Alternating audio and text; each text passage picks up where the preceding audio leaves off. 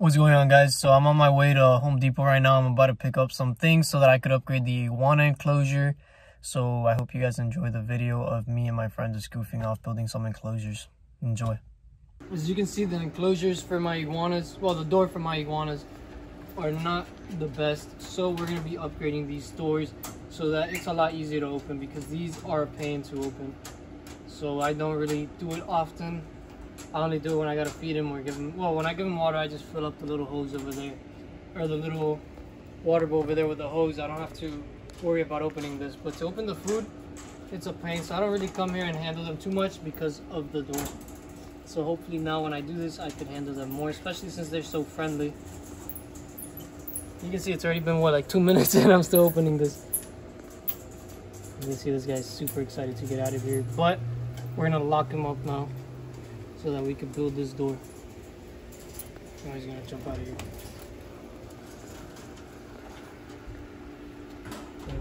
this is Clyde.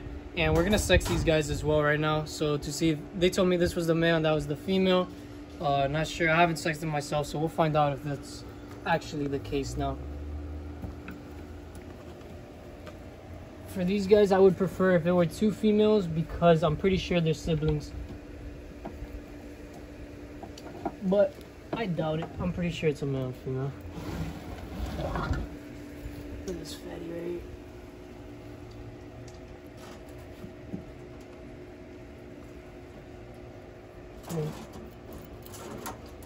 Ow. It's so sharp. Look at it. This is massive. Hey, hey, hey. Relax. Relax.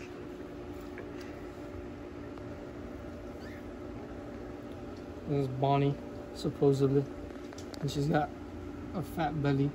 And I didn't think that this size they'll be able to lay eggs, but I saw somebody else that had an iguana this size and they did actually lay eggs. So maybe she has babies, I don't know. She's got a massive stomach. If she does have babies, I'm pretty sure it's gonna be infertile though. Oh my god.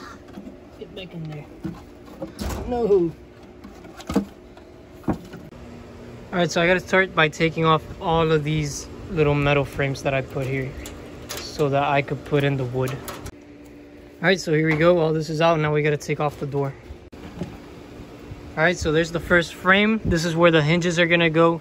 And we're cutting it. We're gonna make the hinge, the sides with bigger two by four and then that's gonna be the frame of the door right there. Now we're drilling some holes so that we can put some screws in. Which hole was it? The little one or this one? The bottom one.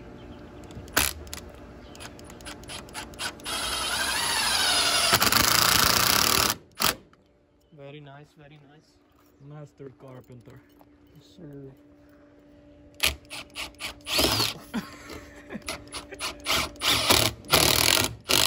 I just lost my rank. Like I said, only the best.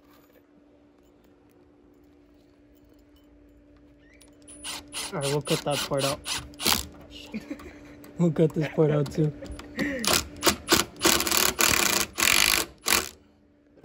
at that, dude. Perfect. Yep, no mistakes at all, so perfect. And this side is also 19 and a half. So we're just gonna do 19. Let's do 19, I'll have a quarter on each. Alright. Um, so we cut the top here. That was like the hardest part out of the whole project. Cutting this little strip that was on the top here. But now it looks real nice. And this is what we're going to use for the frame of the door.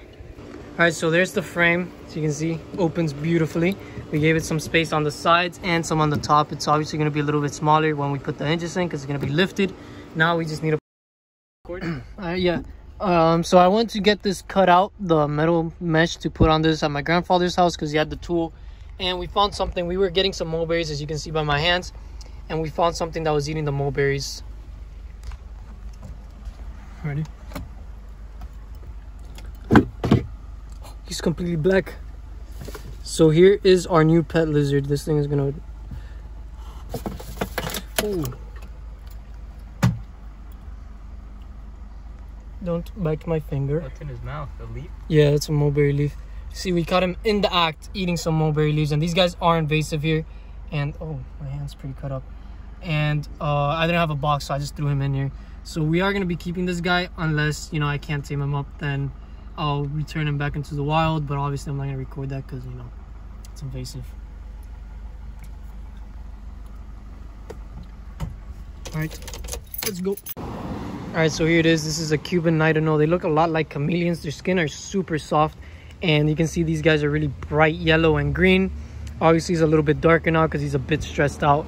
And I just threw him in the dash because I, or not the dash, but um, I don't even know what that's called. That little box next to me uh, when I'm driving because I didn't have anywhere to put him. My friend, uh, he lives two minutes from my grandfather. So we're getting a box for him to put him in. And we're to see if he could do well in uh, captivity. These guys are invasive, so you know it's better to get them out of the environment if you can. But if he doesn't do well in captivity, then I'm not gonna kill it or anything. So you know, look at those sharp teeth. That guy could bite you really hard if he wanted to. And his legs are like gecko feet, but he has claws on him as well, and they're very sharp. I can't get him off my. Oh, I have my, I have my finger inside his mouth. But yeah, this guy should do good um we'll see if he eats obviously he eats the same things as my uh lizards because you know i feed him what i grew up at my grandfather's house so everything should be good look at the colors on him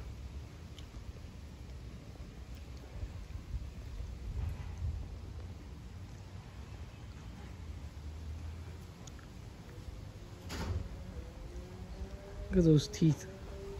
Those teeth could mess you up, dude. All right, now we're going home. He's inside the little shoebox right there, and my friend has his feet over it for protection so he doesn't escape. A bit again. I can't get him. Get him. I don't want to grab him. Slap my ass. Yes, sir. Oh. Don't move it. How do I give him to you? All right, so we had a little inconvenience there. He had escaped, but we got him now. Let's put him back. Let's put him in his enclosure. All right, so what happened was we had him inside the shoebox, right? He was in here. I went to grab him. He turned around and bit me. Luckily, it wasn't that hard. He let go immediately, ran up the seat, and then jumped onto the door. My friend opened the door. He jumped down, went under the car. He was right here. I went to grab him again, but he ran this way, came up the tree right here, and he was over here right? I had cornered him, get, get close. I had cornered him right here, and I was like this. I had my leg here, and when I went to grab him, he ran backwards, went up my leg, and went uh, behind me. And I, then I moved over there so that he wouldn't jump back onto the tree, and I caught him, or he caught him. That was probably the most confusing thing to record ever, dude. No, because it's step by step. They could go, back and see it. no, but I was recording like everything but where I was supposed to record. Cause you're like here and then here, and then he goes here. Yes, I have the donut still too. All right, so this is his new enclosure. We're gonna put him in here with all the redfoot tortoises, and he'll be able to enjoy some of the hibiscus. And there we go. Look how beautiful he looks. So he's in his new home, and we can't release these guys back into the wild, so he'll like this enclosure a lot. And that way we get rid of the invasive species here in Florida. Look how tame he is already. I tamed him up on the way to the car, or on the way over here. He's turning black again, I think, on the head. No, he's turning, he's changing back to normal now. Are you trying to eat my foot, dude?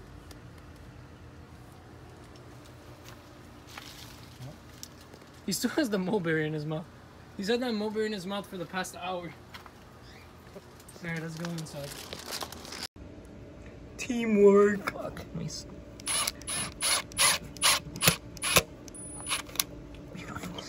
Alright, I'm horny already. Yo, What? YouTube, dude, demonetized. Oh shit. Oh no, Oh again. shit. no. That was too far. You took that too far.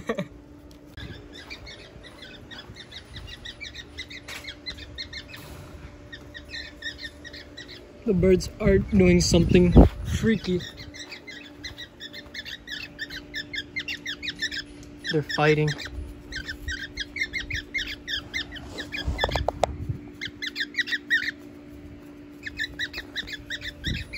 So yeah, we're working over here and we got the sound of birds fighting in the background.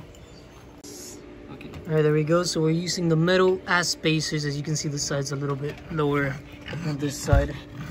But we got the space enough for the door to open. So now we just gotta screw it in on that side. There we go. You can see much simpler now We just to put the locks. Not sure if I'm gonna put one or two. All right, there we go. Look how much simpler this is now. Just bam, and it's done. And we put this here. I don't know if I recorded that, but that's so that this doesn't swing back and the hinges fall off. But so much easier to lock now. See, seconds. I don't have to spend 10 minutes opening this. So it'll be easier to get into the iguanas and this would just help me interact with them better because I felt like when I had to open this and it took me like a few minutes to open, I didn't really put the effort into opening it. But now, for example, I'm feeding the tortoises or whatever, I get a flower, I just open this up, throw it in here, and it'll be so much easier to interact with them. Look at my two little babies. They're asleep right now. They don't even know I'm here. Um, but yeah, this is where I keep them. This is their hide box. And I made this box so that if it's ever um, like a hurricane or if it gets cold, I could just lock it up and bring them inside easily. I just woke her up. But now I'm gonna take them outside. Yeah, these guys are awesome. They're super tame and I'm glad that I got to fix up the door. That way I could interact with them more.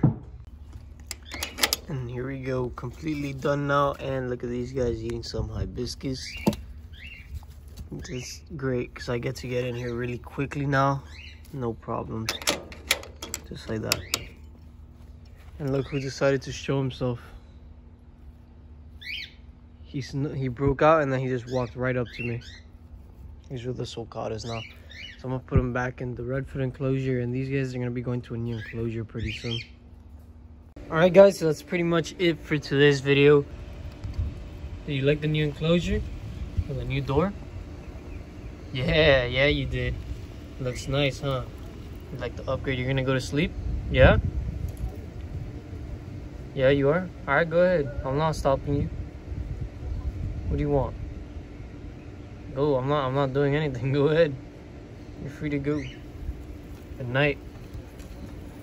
Yeah, it's already starting to get a little bit dark, but it's not because of this um not because it's getting late, it's just starting it's about to start raining. Uh so these guys they don't really like being out when there's no light. Look at them over there. Gotta refill their water bowl now.